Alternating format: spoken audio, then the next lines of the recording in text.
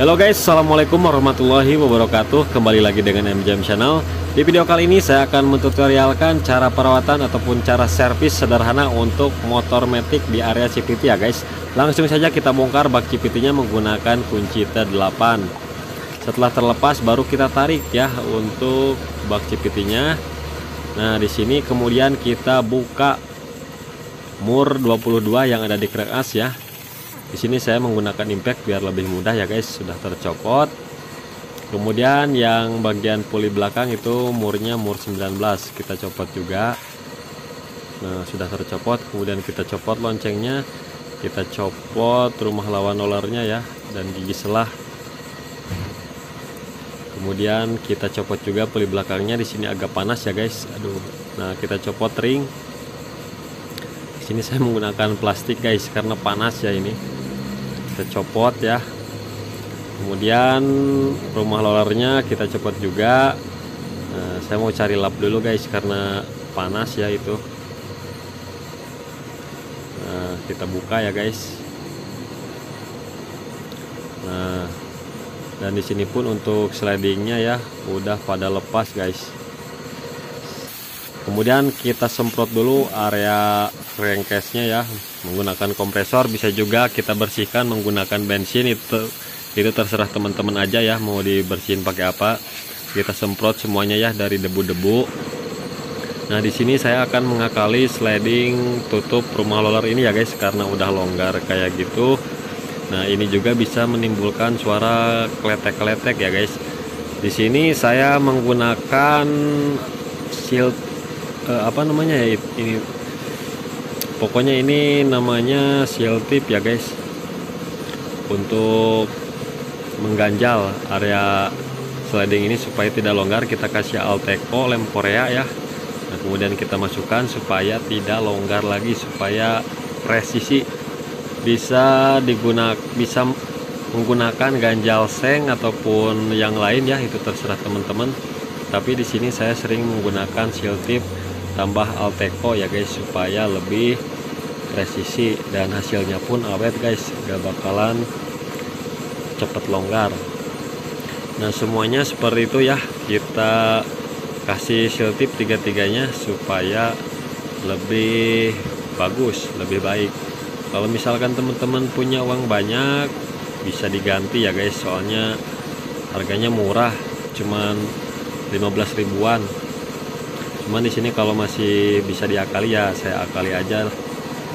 Nah setelah kita kasih seal tip dan lem korea baru kita gunting ya guys. Gunting tengah-tengahnya kemudian pinggir-pinggirnya gunting kita ratakan. Nah kita gunting ya guys. Supaya lebih rapi aja gitu ya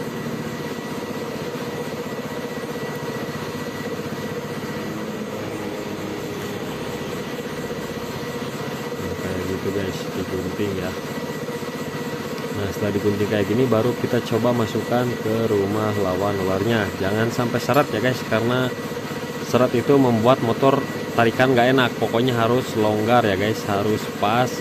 Kemudian bisa didorong bisa ditarik. Jangan sampai seret itu akan membuat motor tambah loyo bukan tambah tarikan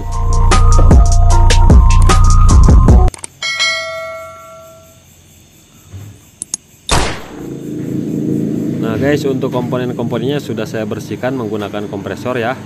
Tidak semuanya saya bongkar. Nah di sini kita gunakan stemplate CPT ya. Mau chip stemplate CPT Yamaha Honda Suzuki. Itu terserah. Yang penting stemplate-nya yang bertipe hard temperatur supaya tidak encer.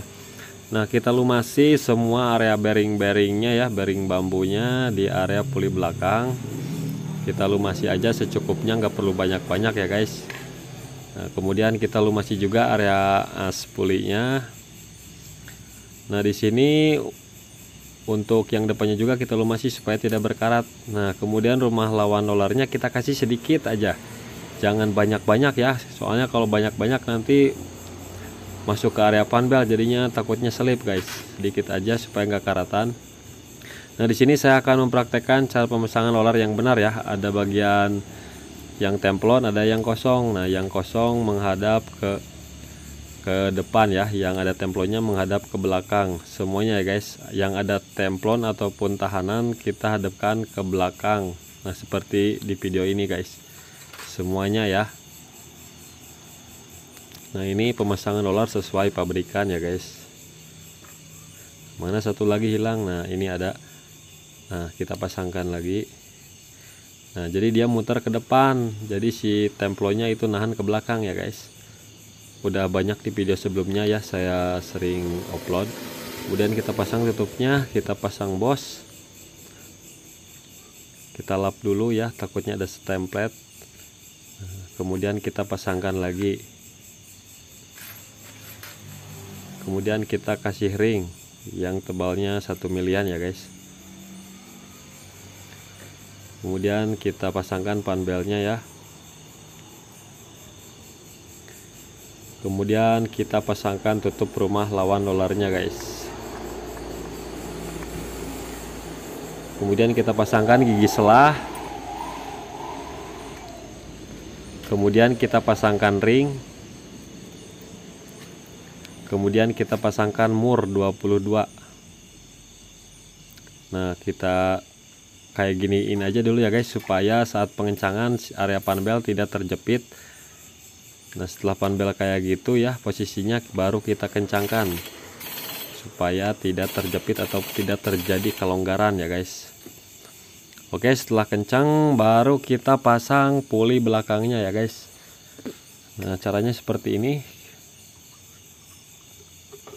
Kita masukkan kemudian kita lap dulu takutnya ada stemplet ya ya bekas di tangan. Kita pasang loncengnya.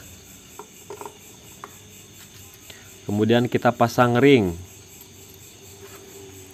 Kita kasih mur 19 nya kemudian kita kencangkan lagi.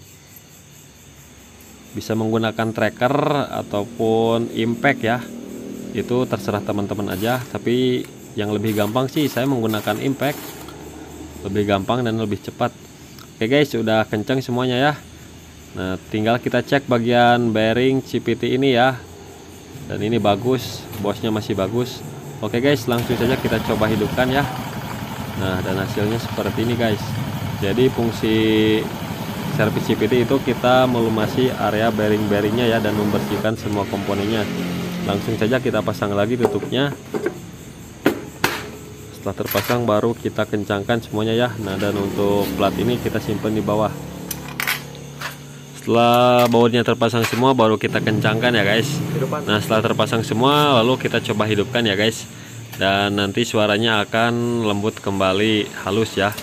Karena perawatan CPT itu setiap 3000 4000 km itu wajib dibuka ya. Kita lumasi bearing-bearingnya menggunakan stemplet Oke guys mudah-mudahan video ini bermanfaat. Sampai ketemu lagi di video selanjutnya. Assalamualaikum warahmatullahi wabarakatuh